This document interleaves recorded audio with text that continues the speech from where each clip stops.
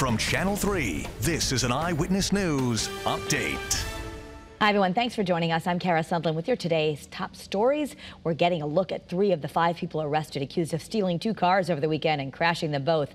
They're Daryl Duncan, Brandon Duncan, who are both 18 from Hartford, and 18-year-old Christopher Collins from East Granby.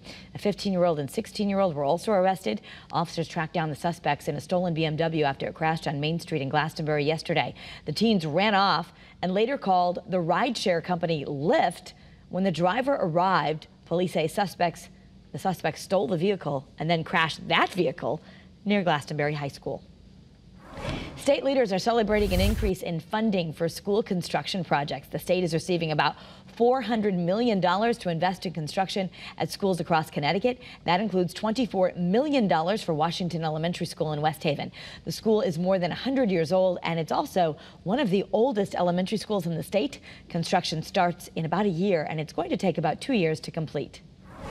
In West Hartford, fire officials say lightning is to blame for a house fire on Girthmere Drive.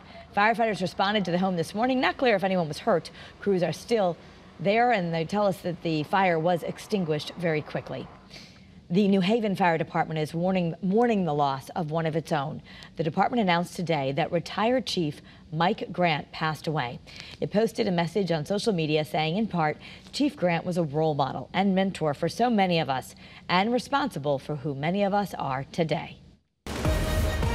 All right, the week is off to a wet, stormy, and cool start across Connecticut. We'll continue the chance for some scattered showers, perhaps some embedded thunder through the evening. In fact, into the overnight as well for our Tuesday. But tomorrow will be a bit of a brighter day with at least a partly to mostly cloudy sky. Any storms that develop tomorrow afternoon could be on the strong side. And temps tomorrow uh, with the sunshine a little bit warmer than today, 75 to 80. Today we may even struggle to reach 70 in some spots. Then we've got a stretch of dry, warm weather with lower humidity Wednesday, Thursday, Friday. We're back into the mid 80s. We'll will end the week on a quiet note. The upcoming weekend features some humidity on Saturday, highs in the mid 80s, a chance for some afternoon and evening thunderstorms. But for Father's Day Sunday, looking bright and dry with highs between 80 and 85 with lower humidity.